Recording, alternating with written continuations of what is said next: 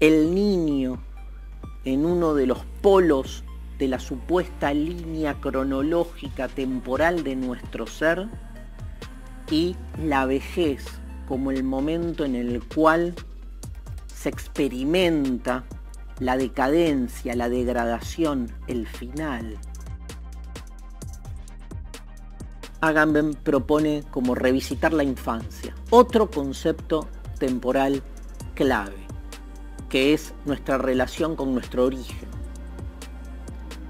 La infancia y la vejez, como dos momentos, dos tópicos, dos polos extremos en los que se mueve lo que se supone que es nuestro tiempo de vida.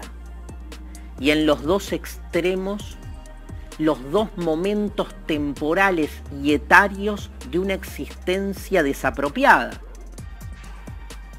El niño como alguien que todavía no es. La carencia en sí, en su, en su necesidad de ser socializado formado, qué palabra de mierda, la palabra formación, la idea de que al otro se le puede dar una forma que uno se supone que tiene, pero sobre todo que uno supone que el otro no tiene.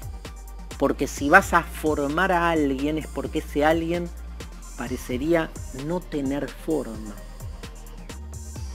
El niño en uno de los polos de la supuesta línea cronológica temporal de nuestro ser y la vejez como el momento en el cual se experimenta la decadencia, la degradación, el final.